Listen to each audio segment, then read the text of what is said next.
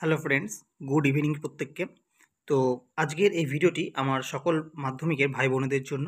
তো আজকের এই ভিডিওতে আমি তোমাদের ভৌতবিজ্ঞানের চলতরিত অধ্যায় থেকে যে সমস্ত শর্ট কোশ্চেনগুলি রয়েছে, যেগুলি তোমাদের এমসিকিউ বা মাল্টিপল চয়েস কোশ্চেন আসে সেই প্রশ্নগুলি তোমাদের সামনে তুলে ধরবো এবং প্রত্যেকটা প্রশ্ন এখানে ইম্পর্ট্যান্ট যেগুলি তোমাদের পরীক্ষায়, অর্থাৎ টেস্ট পরীক্ষা, মাধ্যমিকের এবং মাধ্যমিকের ফাইনাল পরীক্ষা উভয়ই কিন্তু আসার মতো।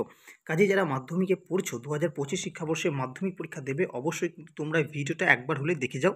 সম্পূর্ণ ভিডিওটি দেখে যাও, প্রথম থেকে শেষ পর্যন্ত, কারণ এই কোশ্চেনগুলির মধ্যেই তোমাদের কিন্তু আসার সম্ভাবনা অনেকখানি রয়েছে। ঠিক আছে? তাই তোমরা ভিডিওটি একটু হলেও দেখে যাও। ঠিক আছে? আমি প্রত্যেকটা কোশ্চেন এবং তার উত্তর তোমাদের সামনে তুলে ধরছি। তো দেখো তোমাদের প্রথম যেটি কোশ্চেন আছে যে তড়িৎ আধানের এসআই একক হলো option A EMU option B ESU option C statcoulomb R option D হচ্ছে ক্লম তাহলে তোমাদের এখানে সঠিক উত্তর কোনটা হবে? তড়িৎ আধানের এসআই একক কী হয়? ক্লম আচ্ছা দু নম্বর প্রশ্ন। কুলম্বীয় বল হলো, মনে রাখবে, কুলম্বীয় বল হয় এমন একটা বল যেটা আকর্ষণ হতে পারে অথবা বিকর্ষণ হতে পারে। তাহলে কুলম্ব, কুলম্বীয় বল কি? আকর্ষণ বা বিকর্ষণ দুটোই হতে পারে। তাহলে এখানে অপশান সিটা হবে তোমাদের সঠিক উত্তর। আকর্ষণ বা বিকর্ষণ বল। ঠিক আছে? তারপরে দেখো, তোমাদের দু নম্বর গেল, এবার হচ্ছে তিন নম্বর প্রশ্ন। তোমাদেরকে আমি টোটাল কুড়িটা প্রশ্ন নিয়ে আলোচনা করব, খুব ইম্পর্ট্যান্ট তিন নম্বর প্রশ্নে বলা হয়েছে, পরিবাহীর মধ্য দিয়ে তড়িৎ পরিবহনে অংশগ্রহণ করে। পরিবাহীর মধ্য দিয়ে তড়িৎ পরিবহনে অংশগ্রহণ করে। চারটি অপশন রয়েছে, নিউট্রন, প্রোটন, ইলেকট্রন কোনটি নয়। তাহলে এক্ষেত্রে সঠিক উত্তর হচ্ছে ইলেকট্রন। তোমরা জানো যে ইলেক তড়িৎ যেদিকে প্রবাহিত হয়, ইলেকট্রন তার অপোজিট অর্থাৎ উল্টো দিকে প্রবাহিত হতে থাকে। ঠিক আছে? আচ্ছা চার নম্বর প্রশ্নে বলা হয়েছে একটি ইলেকট্রনের আধান হলো। তো এটা তোমরা মনে রাখবে, একটি ইলেকট্রনের আধান হয় one point six into ten to the power minus উনিশ কুলম ঠিক আছে? কুলম হচ্ছে সি তাহলে ten to the power minus উনিশ কুলম ঠিক আছে? তারপর হচ্ছে পাঁচ নম্বর প্রশ্ন। পাঁচ নম্বর প্রশ্নে কি বলা হয়েছে? এক ক্লম্ব আধান যতগুলি ইলেকট্রনের আধানের মানের সঙ্গে সমান। তো এটা তোমাদেরকে মনে রাখতে হবে যে, এক ক্লম্ব আধান তোমার অপশান ডি যেটা আছে six point two five into ten to the power eighteen সংখ্যক ইলেকট্রন আধানের মানের সমান। তারপর হচ্ছে ছ নম্বর প্রশ্ন। ছ নম্বর প্রশ্নে বলা হয়েছে, দুটি আধানের মধ্যে দূরত্ব দ্বিগুণ হলে আকর্ষণ বা বিকর্ষণ বল হবে। দ্বিগুণ, চারগুণ, অর্ধেক নাকি এক চতুর্থাংশ? তাহলে এটি আমি তোমাদের করে দেখাবো, ঠিক আছে? তাহলে দুটি আধানের মধ্যে দূরত্ব যদি দ্বিগুণ হয়, তাহলে এটা আমরা কোন সূত্র পাবো? এটা হচ্ছে আমাদের ক্লম্বের সূত্র। আমরা জানি কি? যে F equal to Q one Q two by R square হয়। ঠিক আছে? Q one Q two by R square এখন বলছে এই যে আরটা আছে, সেটা যদি দ্বিগুণ হয় মানে টু আর হয়, তাহলে কি হবে? তাহলে আমরা এখন এটা করব কি না Q one Q two by আরের জায়গায় আমরা কী লিখব? টু আর তার হোল স্কোয়ার তাহলে টু আর তার হোল স্কোয়ার এটা যদি হয়, তাহলে আমাদের কী হবে? Equal to Q one by Q Q one Q two by two এর স্কোয়ার মানে ফোর আর আর স্কোয়ার মানে আর স্কোয়ার ঠিক আছে? তাহলে আমাদের কত এলো? একের চার। দেখো, এক বা কিছু নেই মানে এক, তাহলে একের চার। তাহলে একের চার হবে এখানে সঠিক উত্তর। ঠিক আছে, এক চতুর্থাংশ। ছ নম্বর প্রশ্ন, অসীমে কোনো আধানের বিভব ধরা হয়। মনে রাখবে, অসীমে কোনো আধানের বিভব হয় সবসময় শূন্য। ঠিক আছে, অসীমে কোনো আধানের বিভব হয় সবসময় শূন্য অপশান সি হবে এখানে সঠিক উত্তর। তারপরের প্রশ্ন দেখো, সাত নম্বর প্রশ্ন, একটি তড়িৎ কোষের তড়িৎচালের তড়িৎচালক বলের অবস্থান। তো মনে রাখবে, একটি তড়িৎ কোষের মধ্যে তড়িৎচালক বল কোথায় থাকে? অপশান সি হচ্ছে সঠিক উত্তর তড়িৎদ্বার দুটির সঙ্গে সক্রিয় তড়িৎ বিশ্লেষ্য পদার্থের স্পর্শতলে। দেখো মনে করো এ একটা ব্যাটারি বা তড়িৎ কোষ, ঠিক আছে? একটা ব্যাটারি। এবার দুটো তড়িৎদ্বার আছে, একটা প্লাস, একটা মাইনাস। তো এই দুটো তড়িৎদ্বারের সাথে ভেতরে যে তড়িৎ বিশ্লেষক পদার্থ থাকে, ঠিক তার স্পর্শ তলের, ঠিক তার স্পর্শ তলে থাকছে আমাদের তড়িৎচালক বল, ঠিক আছে? যেটাকে আমরা ই দ্বারা প্রকাশ করে থাকি। এরপরে আট নম্বর প্রশ্ন, নিচের এককগুলির মধ্যে কোনটি তড়িৎ আধান পরিমাপের একক? এটা আমরা সবাই জানি, তড়িৎ আধান পরিমাপের একক হচ্ছে কুলম আর ভোল্ট কুলম। আচ্ছা ওহমটা কিসের একক সবাই জানো? অ্যাম্পিয়ার তড়িৎ প্রবাহ মাত্রা একক। ওহমটা হচ্ছে রোধের একক। ঠিক আছে ভোল্ট অর্থাৎ আমাদের ভোল্টেজ, যেটা আমরা ভি দ্বারা প্রকাশ করে থাকি। ঠিক আছে, আর এটা হচ্ছে আমাদের আধান। আধান পরিমাপের একক হচ্ছে কুলম। হুম।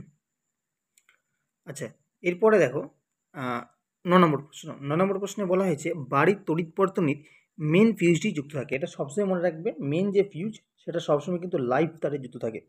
বাড়ির যে মেন ফিউজ সেটি কিন্তু সবসময় লাইফ তারের সাথে যুক্ত থাকে।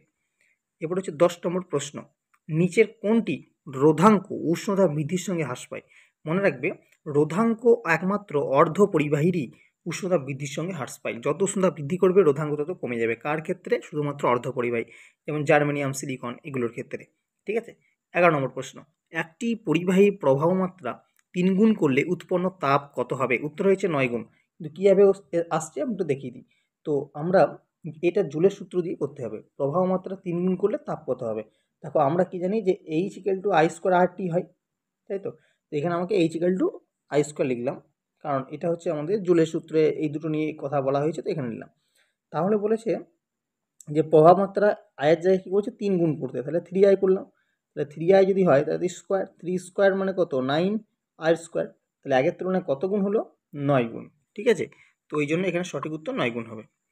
ফিউজ তারের উপাদানগুলি কী কী? ফিউজ তারের দুটি উপাদান নিয়ে গঠিত। কেন প্রত্যেকে? একটা হচ্ছে সিসা একটা হচ্ছে টিন সিসা বা লেড পিবি পিবি এবং এসএন অপশান সি হবে সঠিক উত্তর। তেরো নম্বর প্রশ্ন। তড়িৎ প্রবাহের তাপীয় ফলের ব্যবহারিক প্রয়োগ।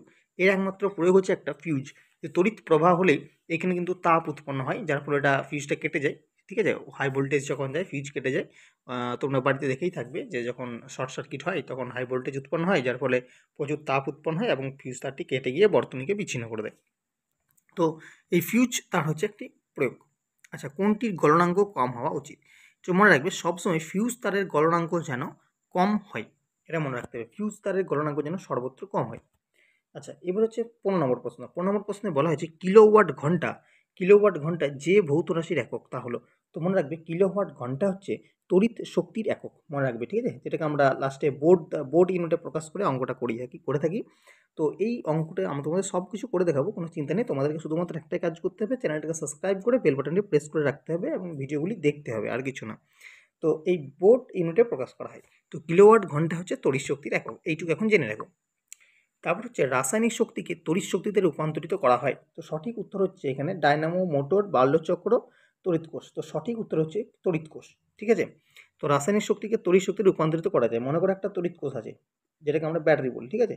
তো এর মধ্যে যে শক্তিটা থাকে সেটা হচ্ছে রাসায়নিক শক্তি। এটাকে যখন আমরা লাইট এমনি করে কিছু একটা লাইট বা বাল্ব জ্বালাই, তখন সেটা কিসে রূপান্তরিত হয়? তড়িৎ শক্তিতে রূপান্তরিত হয়। আবার যদি এই ব্যাটারিটাই মনে করো চার্জেবল হয় চার্জ দেওয়া হয়, তাহলে সেটা কি হয়? ধরো কারেন্ট থেকে তুমি চার্জ দিচ্ছ ব্যাটারিটাকে তাহলে এইখানে ছিল তড়িৎ শক্তি, সেটাকে তুমি রাসায়নিক শক্তি হিসেবে ওই তড়িৎ কোষের মধ্যে রাখছো, তারপর আবার যখন তড়িৎ কোষটাকে তড়িৎ কোষ থেকে বা ব্যাটারি থেকে যখন লাইট জ্বালাবে, সেই রাসায়নিক শক্তিকে আবার কী করছ? তড়িৎ কোষে কনভার্ট করে দিচ্ছ। ঠিক আছে? তারপর হচ্ছে সতেরো নম্বর প্রশ্ন। সতেরো নম্বর প্রশ্নটি অঙ্ক আছে, আমি করে দেখাচ্ছি। বলা হয়েছে কোনো পরিবাহীর মধ্য দিয়ে এক মিনিট সময়ে ষাট কুলম আধান প্রবাহিত হলে প্রবাহ মাত্রা কত হয়? দেখো, এই অঙ্কটা করার জন্য আমাদেরকে একটা সূত্র জানি যে কিউ ইকেল টু আইজি এটা হচ্ছে আমাদের সূত্র, ঠিক আছে? তো আমাদেরকে বের করতে বলেছে প্রবাহ মাত্রা প্রবাহ মাত্রা হচ্ছে আই তাহলে আমাদেরকে আইটা বের করতে হবে, তাহলে আই ইকেল টু আমি কী লিখতে পারি? কিউ বাই টি লিখতে পারি কিউ মানে হচ্ছে কতটা, কত কুলম আধান প্রবাহিত হয়, কত কুলম আধান, তো কিউ মানে হচ্ছে আমাদের ষাট কুলম আধান, তাহলে ষাট, ঠিক আছে? দাঁড়া এক মিনিট, তো কিউটা হচ্ছে ষাট বাই টিটা এখানে কত হবে। টিটা কিন্তু এখানে অনেকে ভুল করে এক লিখে করে, লিখে দেয়। তো বলে রাখি, এটা এক কখনোই করবে না, কারণ এক মিনিট আছে। তোমাদেরকে এটা সবসময় মনে রাখবে যে সেকেন্ডে কনভার্ট করতে হবে। কী বললাম? সেকেন্ডে কনভার্ট করতে হবে। তাহলে এক মিনিট মানে কত সেকেন্ড ষাট সেকেন্ড তাহলে ষাট ষাট যদি কেটে যায়, কত হবে? এক। আর পহামাত্রা একক কী হয়? অ্যাম্পিয়ার তাহলে সঠিক উত্তর হবে এখানে ওয়ান অ্যাম্পিয়ার যেটা হচ্ছে অপশান ডি নম্বর ঠিক আছে? এখানে হচ্ছে এক অ্যাম্পিয়ার হবে তোমাদের সঠিক উত্তর। এই অঙ্কটা কিন্তু খুব ইম্পর্ট্যান্ট এটা মাধ্যমিক এসেছিল এবং আসতেও পারে। নিচের এককগুলির মধ্যে কোনটি রোধের এসা একক? এক, কিছুক্ষণ আগেই বললাম, রোধের এসা একক কী হয়? রোধের এসা হচ্ছে ওহম হয়। রোধায় এসে, রোধের এসা একক কী হয়? ওহম হয়। যার চিহ্ন কীরকম হয়? এরকম। ঠিক আছে? এটা হচ্ছে রোধের মানে ওহমের চিহ্ন। গৃহস্থলীর, উনিশ নম্বর প্রশ্ন, গৃহস্থলীর বৈদ্যুতিক বর্তনীকে, বর্তনীতে ফিউজ তার নিচের কোনটির সঙ্গে যুক্ত থাকে? এটা একবার রিপিটেড কোশ্চেন হয়ে গেছে। এটা অপশান বি হবে লাইভ তারের সাথে যুক্ত থাকে। হুম।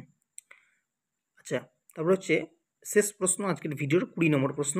একটি অহমীয় পরিবাহী হলো। তো এটা মনে রাখবে, অহমীয় পরিবাহী হচ্ছে সিলিকন যার সংকেত হচ্ছে কি? না এসআই ঠিক আছে? তো এটা হচ্ছে একটা অহমীয় পরিবাহী। তাহলে এই ছিল তোমাদের কুড়িটা ইম্পর্টেন্ট কোশ্চেন তোমাদের চলতরিত অধ্যায়টি থেকে এবং চেষ্টা করব পরবর্তীতে আরও যে এসে কিউ শর্ট অ্যান্সার টাইপের যে কোশ্চেনগুলো আছে, সেগুলো তোমাদের সামনে তুলে ধরার। এছাড়াও টু মার্কস থ্রি মার্কসের সাজেশন তোমাদের সামনে আমি খুব শীঘ্রই তুলে ধরছি।